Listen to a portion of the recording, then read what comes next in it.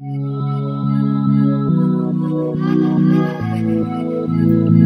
everyone, this is Alex Fleury for Real World Endodontics.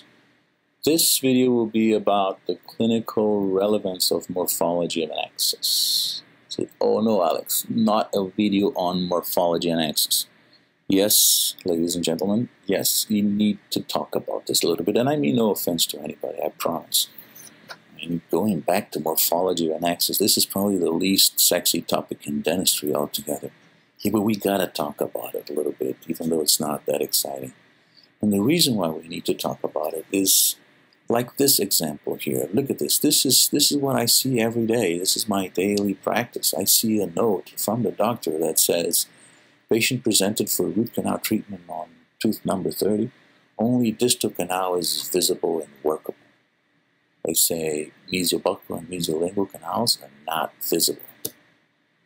They're visible. I mean, come on, just look at this. It's just that you're not going to find it if you're digging the wrong way. I mean, this is, you know, digging in this mesio area here is not going to cut it.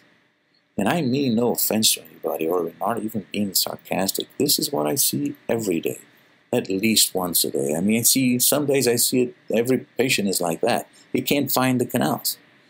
Now, the reason why people can't find the canals is because this is what we have as difficult in endo.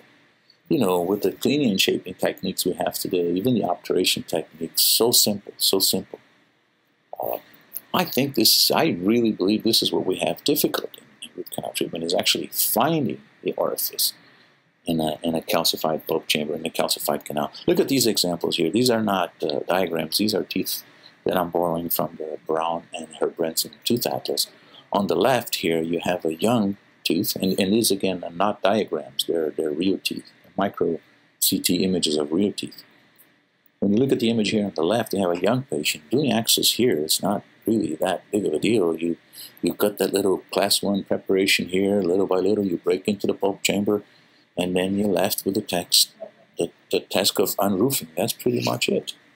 Now, unroofing this uh, easy with, a, with an Endo-Z bur or something like that, something similar.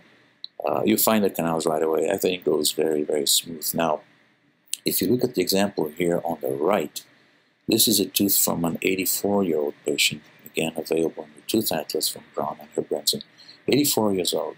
This patient has no pulp chamber when you look at this image here, it's almost like the roof of the pulp chamber